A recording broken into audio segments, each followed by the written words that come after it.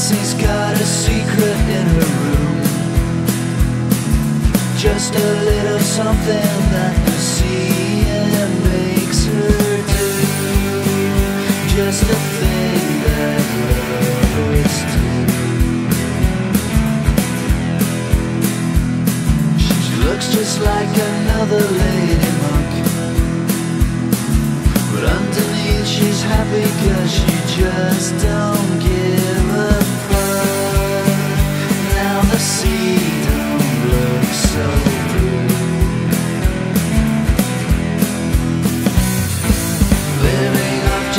oxygen, feeding on the residue. Memories of a peekaboo, doing things that lovers do. Dressing up and teasing. Bessie whispers, please